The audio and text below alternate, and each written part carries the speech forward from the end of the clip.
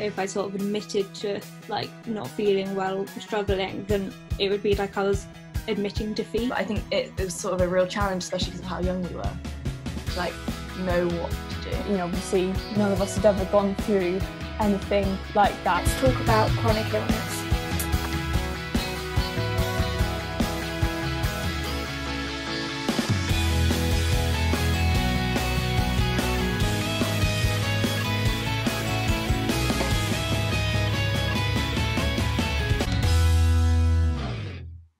Welcome to episode two of Let's Talk About Chronic Illness.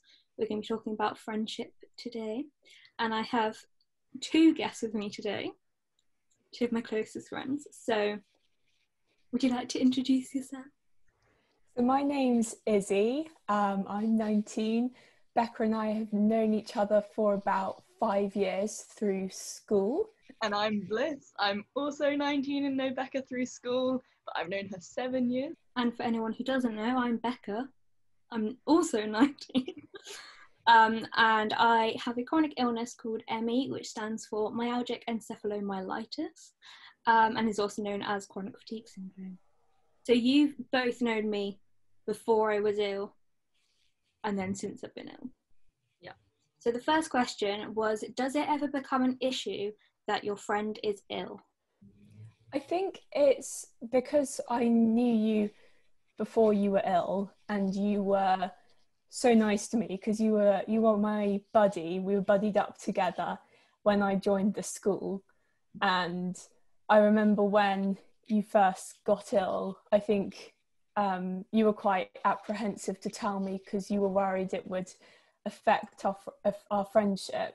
Mm-hmm. and i think i just thought absolutely no way because you've been so lovely to me yeah, I agree. I wouldn't say it was an issue. Like it obviously changed some things and like made some things harder, but like was not an issue at all. I think if it's a true friendship, like it's not, it's never gonna be a problem if you're ill. You know.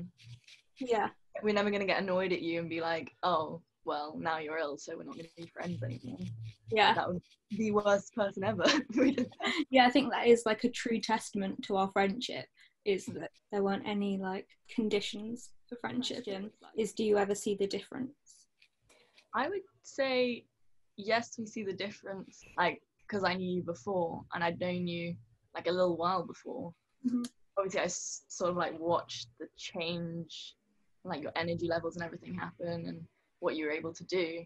And i don't think you as a person have changed. It's just like the way you know you had to live changed or the way you had to do things changed. Yeah. Um, how do you find things that are mutually enjoyable to do together without increasing or impacting fatigue too much?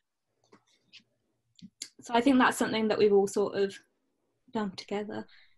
It's just sort of like i always really appreciated the fact that you have always been very understanding about like stuff that i can't do so you're always sort of like quite willing just to like come over and just sit and chat for an hour and do stuff that I'm more able to do. So I think it's been relatively easy to find stuff that is mutually enjoyable. I think from my point of view, I don't know about what you guys think.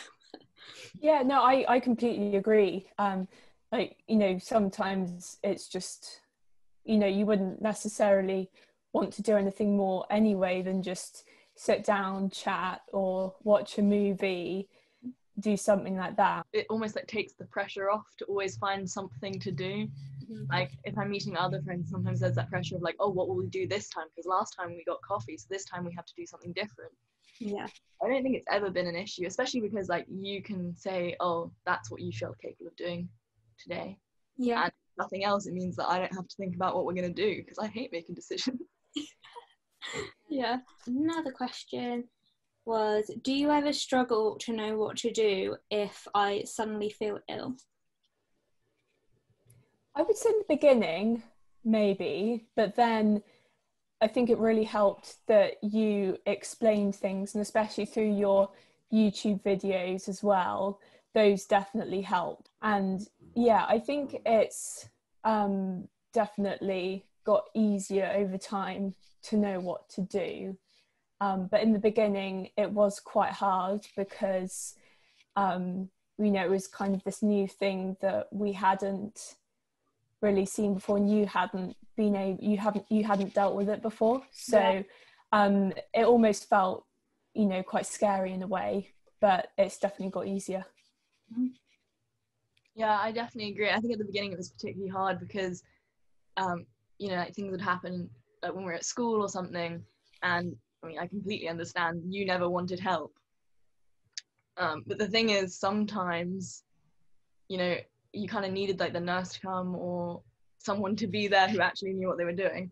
Mm-hmm. Um, and I think that was also really hard is to know when like when to run and get the nurse when we were at school and when not to. And also, I think it's different because we were at school, so we're in a bit of a different like environment, mm-hmm.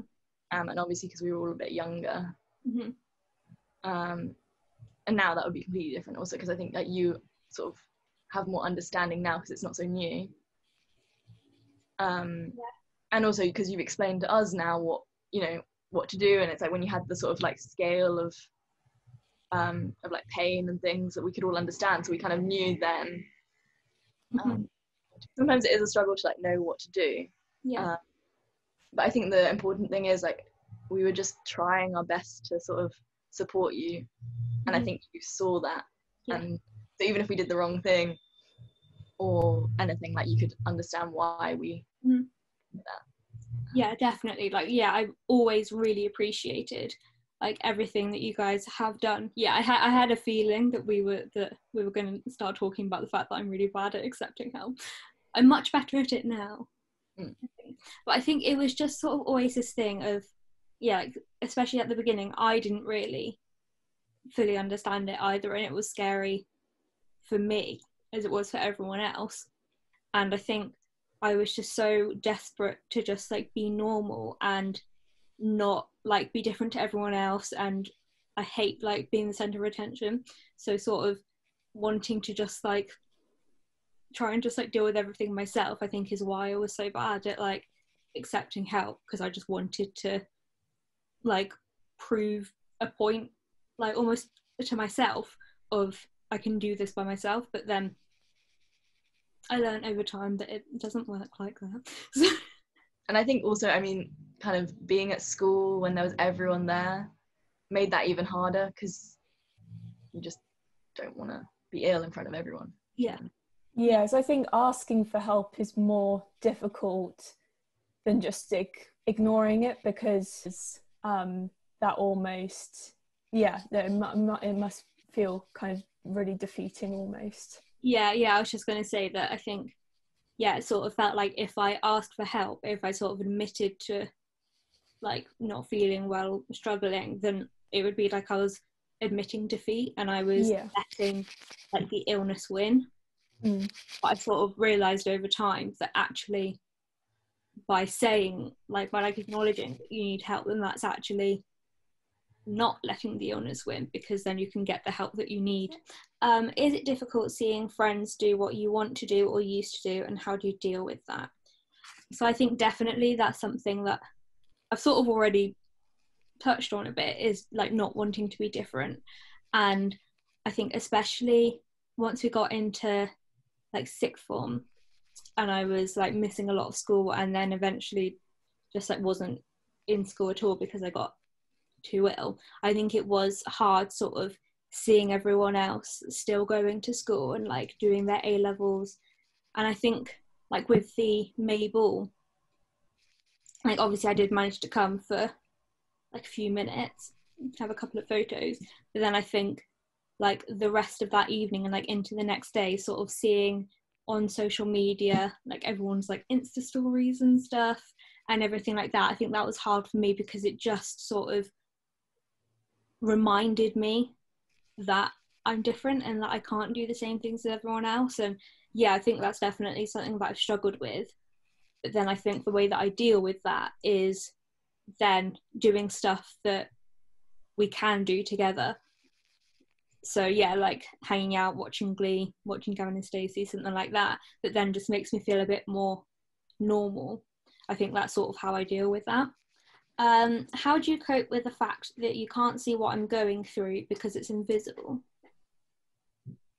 I think I find it really hard, especially at the beginning. Know, I always remember a conversation we once had, and I said, you know, I wish I could go through what you're going through, you know, for a day, a week, just so I know what it's like. Because I think it's, um, it's hard, especially you know what we said earlier. We don't know, um, you know, exactly when you might be feeling worse um, yeah, I think that's something I really struggled with because I didn't know always what to say. And um, yeah, no, I, I, I found that hard, but it's getting a bit easier now. I think I just knew that um, even though I didn't understand, you know, I still had to, you know, I was still there for you and I just had to try my best yeah, I completely agree. I, but although actually, the one thing I would say is I think at the very, very beginning, it was almost easier because there were sort of, even though it was still invisible, there were some visible things like when your wrists were weak, your ankles were weak. So it, we could kind of see that and then be like, okay, now we know she's not feeling well. Or it was sort of in a way more visible when you were particularly tired because we were so used to seeing you like full of energy and um, and everything like before and then I think as things sort of developed, it got really, really hard. It, like Izzy said, like as it got a bit sort of later on, we all got a bit older, we sort of got more used to it.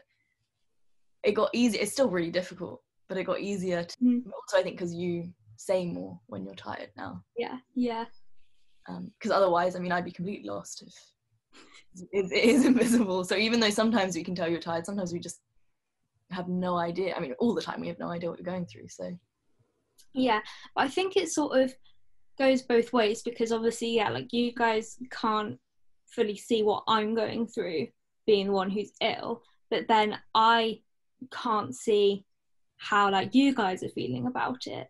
And it's something that I sort of struggle with as well is sort of knowing like if I'm asking for too much help, if I'm not asking for enough help, like and not wanting to be a burden to like my friends and not wanting to constantly ask you for too much help, but then also not wanting to be really stubborn and not ask for yeah. at all. So I think yeah, it does sort of go both ways. Um, so we've sort of already talked about this a bit, but next question is how was your friendship challenged?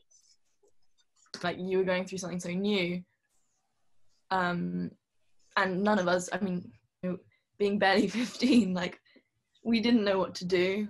Um, and I think so in a way that challenged it because I didn't want to go against what you'd said. But then sometimes, I mean, I remember at least one time, you know, you were pretty much fainting and telling me not to get the nurse. I think it, it was sort of a real challenge, especially because of how young we were, to like know what to do, which we already like talked about.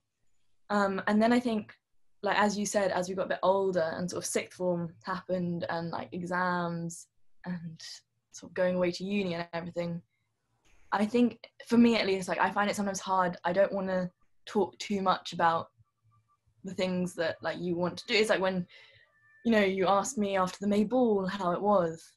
But i didn't want i wanted to tell you of course i wanted to tell you but in the way i i didn't want to tell you everything because i knew how you were what i sort of knew a little bit about how you were feeling about it. Yeah. Um, so i think it's a it's a challenge. That's not to say it's a problem um, but i think sometimes that's difficult to know sort of how much to say because i know you want to know some of it and everything but i equally i don't want to be sort of rubbing it in your face if you are feeling like you're missing out. Mm-hmm. um, yeah. Yeah yeah I, I agree. I think because it wasn't you know necessary it wasn't a normal situation to be in. I think it and you know obviously none of us had ever gone through anything like that in terms of a friendship before.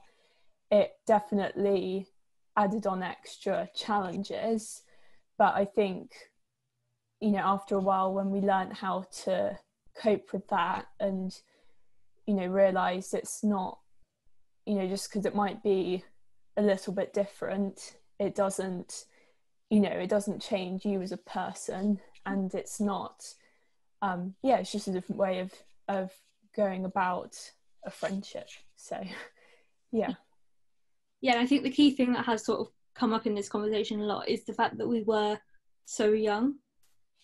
I'll have people sort of say to me like, "Oh wow, I can't believe you got ill so young. That must have been so hard." But it's like, yes, it was, but also it's really hard on like you guys, really hard on all my friends.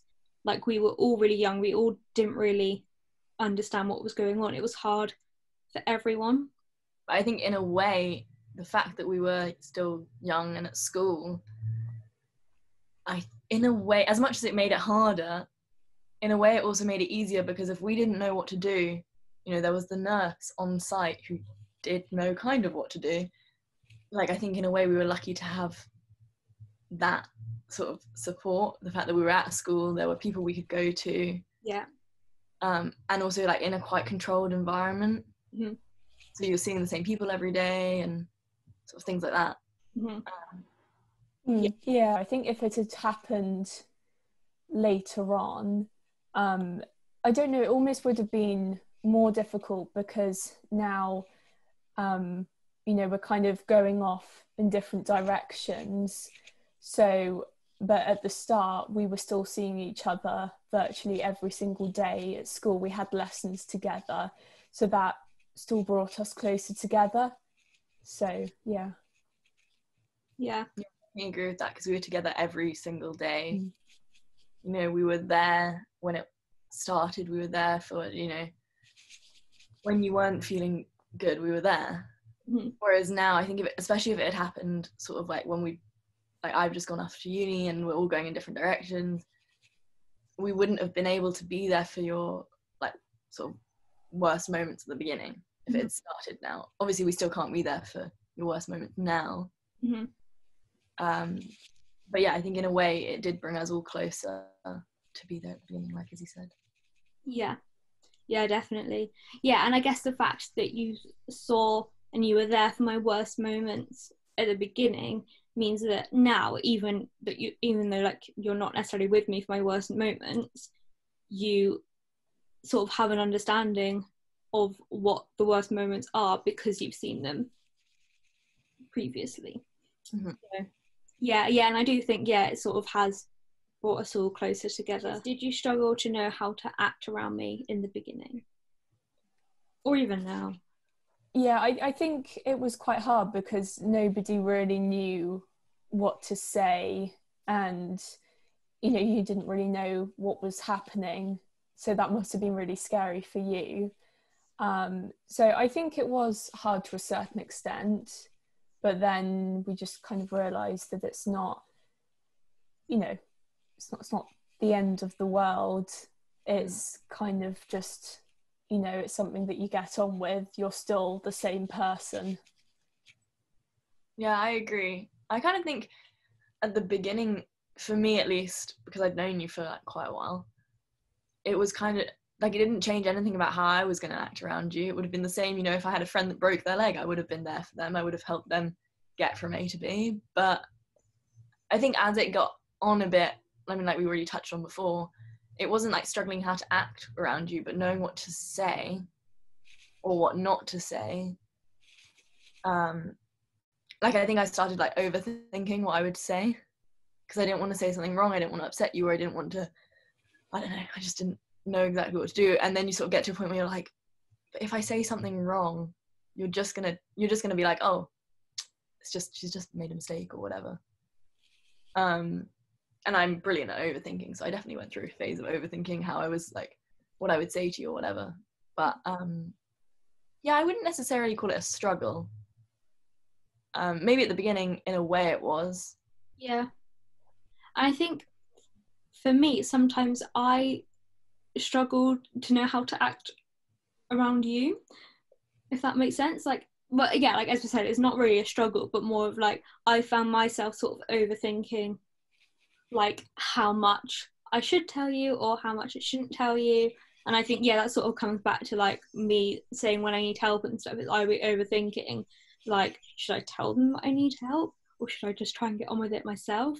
And I think even still now, sometimes it's like a bit of a not a struggle but a bit hard sometimes knowing how to act whether i should sort of try and put on like a front of being absolutely fine when inside i'm in tons of pain and feeling absolutely awful or whether i should just be really honest and mm. say so yeah i think that sort of again a lot of these things do sort of go both ways i mean i think what we can tell from like this conversation is kind of communication was the sort of biggest thing and i think if there's anyone sort of i guess there are people watching your videos that might be going through similar situations or might be friends with people going through similar situations. And i think the important thing is like if you're if it's really a friend of yours who's going through you know, chronic illness or anything that might be related it's okay for them to just say to you and you can say to them you know like you can be completely honest with it because like honestly becca like we've been around you when you have been at your worst. Yeah. so the fact that you i mean it's it's completely natural to want to put up a barrier but at the same time we have seen you in every state known to man you know like we've we've seen you in tears we've seen you um you know we've equally seen you full of energy and very very happy or really excited and everything. So i think like the important thing is it's it is okay to say to people. And it's okay it's i think equally it's okay for people if you're like friends with someone to say i don't know how i should deal with this. Mm-hmm. you know, how would you like me to to deal with this? Or what can i do to help? Mm-hmm. yeah i think uh, communication is absolutely the key thing. And yeah not yeah from both from both sides of it not being afraid to ask questions basically. Like i don't think many people can say that a friend of theirs has written them a song like that's it's just amazing really especially considering the fact that you know when you wrote it when you were recording it you know you were probably going through a really really hard time but you still did it because you're an amazing friend. Like that had you know it didn't have anything to do with what you were going through. Izzy's right. That's the that's the basis of this is the fact that you've been an amazing friend to us over the years, despite you know anything you were going through. That really hasn't affected how you were towards us. Mm-hmm. You know, it's like I was messaging you the other day, and I think I said like I had a rough day or I was going through something, and you were still saying, "Oh, let me know if there's anything I can do," even though I know that you were sort of exhausted and also having a rough day and you both are incredible, incredible friends.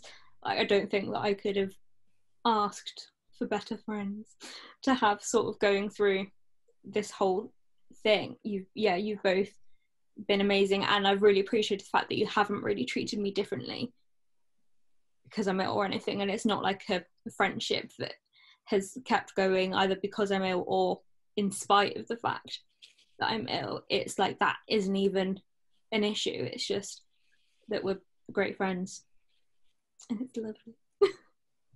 Thank you both very much for any time. Thank you for having us. I'm, I'm sad that this time didn't involve baking though, like last time.